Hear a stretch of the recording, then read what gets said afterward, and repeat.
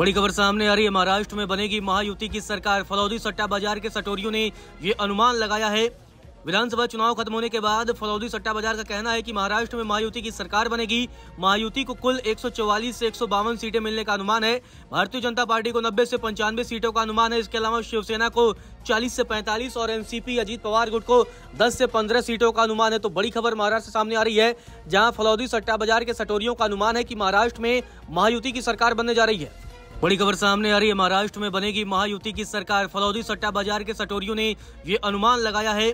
विधानसभा चुनाव खत्म होने के बाद फलौदी सट्टा बाज़ार का कहना है कि महाराष्ट्र में महायुति की सरकार बनेगी। महायुति को कुल 144 से एक सौ बावन सीटें मिलने का अनुमान है। भारतीय जनता पार्टी को 90 से पंचानवे सीटों का अनुमान है। इसके अलावा शिवसेना को 40 से 45 और एनसीपी अजीत पवार गुट को 10 से 15 सीटों का अनुमान है। तो बड़ी खबर महाराष्ट्र सामने आ रही है, जहाँ फलौदी सट्टा बाज़ार के सटोरियों का अनुमान है की महाराष्ट्र में महायुति की सरकार बनने जा रही है।